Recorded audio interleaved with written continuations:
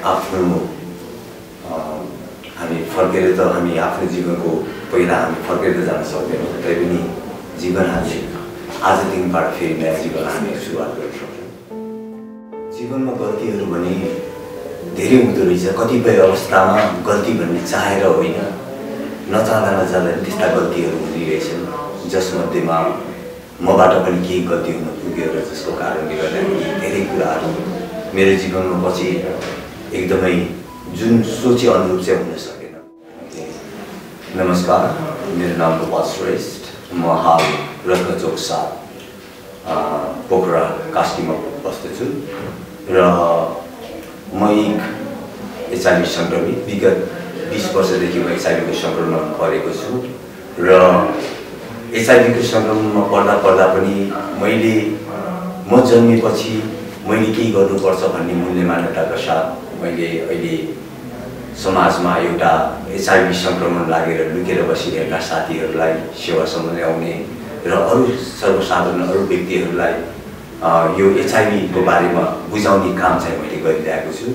र म पोखरा एफएमसँग नै आबद्ध छु। पोखरा एफएममा म प्रत्येक शुक्रबार बिहान आठदेखि नौ बजीसम्म यस्तै सम्बन्धी कार्यक्रम एउटा दृढ सङ्कल्प चाहिन्छ। यदि आफूसँग दृढ सङ्कल्प छ भने हामी जे पनि गर्न सक्छौँ। त्यसको लागि सबभन्दा पहिला तपाईँको इच्छा शक्ति हुनु पर्यो र त्यसमाथि तपाईँले कार्यान्वयन गराउन सक्नु पर्यो यदि तपाईँ त्यसमा एक्सनमा जानुहुन्छ या तपाईँले व्यवहारमा त्यसलाई लागू गर्नुहुन्छ भने अवश्य पनि तपाईँले जे चाहेको जे सङ्कल्प गर्नुभएको त्यो अवश्य पनि तपाईँले प्राप्त गर्नुहुन्छ। त्यसको लागि धैर्यताको खाँचो पर्दछ। सङ्क्रमण या रोग लाग्नु भने ठुलो कुरो होइन। तर रोग या सङ्क्रमणमाथि विजय प्राप्त गर्नु भन्ने कुरो सबभन्दा ठुलो कुरो हो इम्पोर्टेन्ट हो जस्तो मलाई लाग्छ।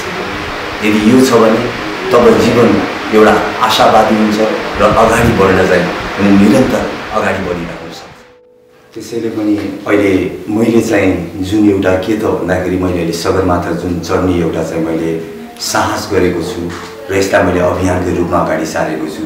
किनभने साँच्चै नै भन्यो भने एचआइभी सङ्क्रमित अझैसम्म कोही पनि सगरमाथा चढेका छैनन्।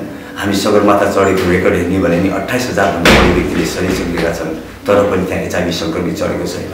अनि यो एउटा के हो भने नयाँ कार्य हो किनभने असम्म कसै एचआइभी सङ्क्रमितले नगरेको हुनाले पनि यो कार्य चाहिँ किन म गर्न चाहन्छु भने ती साथीहरू जो लुकेर बसिरहेका छन् जुन हाम्रो समाजमा एचआइभी प्रतिको धारणा छ एचआइभी लागेका व्यक्तिहरू कमजोर हुन्छन् भन्ने जुन यो किसिमको सोच छ कमजोर उसको मानसिकता हो उसको मनोबल हो व्यक्ति स्वयं चाहिँ होइन। यो म भन्न चाहन्छु। यसैले पनि गर्दाखेरि म यो एउटा प्रुफ गर्न खोजे होइन। म यो एउटा जस्ट समेट गर्न चाहन्छु म देखाउन चाहन्छु।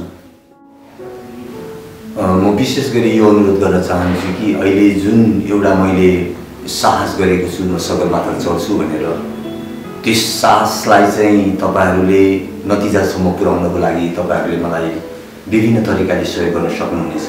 र यसको लागि हामीले वेबसाइटहरू पनि लन्च गरिसकेका छौँ।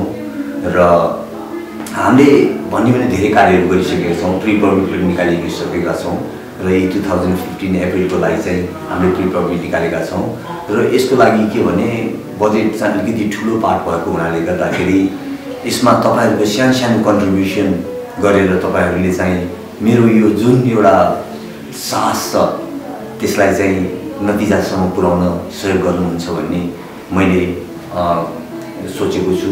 र अवश्य पनि तपाईँहरूले चाहिँ मलाई सहयोग गर्नुहुनेछ। किनभने यो मेरो व्यक्तिगत म एकजनाको लागि मात्रै गरिराखेको छैन। यो हो विश्वमा रहेका सम्पूर्ण एचआइभी सङ्क्रमितहरूको प्रतिनिधित्व गर्दै म सगरमाथा चढ्न लागेको हुँ।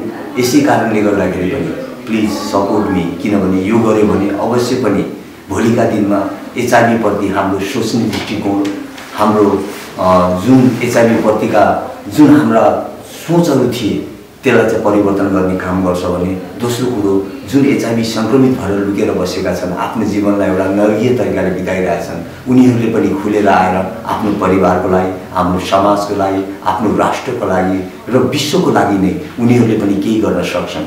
यो चाहिँ एकदमै मेरो ठुलो म्यासेज हो। यस कारणले please support me.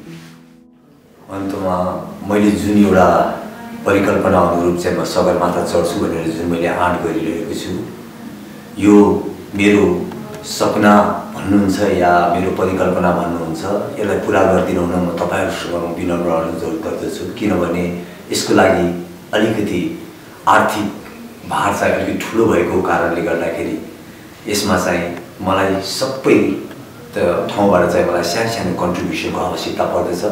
Yes contribution गरी मलाई जुन मैले एउटा सोचेको छु मैले जुन एउटा सगरमाथा चढ्छु र मैले चाहिँ एउटा देशकै नामलाई पनि अगाडि बढाउँछु भन्ने सोच राखेर मैले अघि बढिरहेको छु। यसमा साथ दिनुहुन म हार्दिक अनुरोध गर्छु।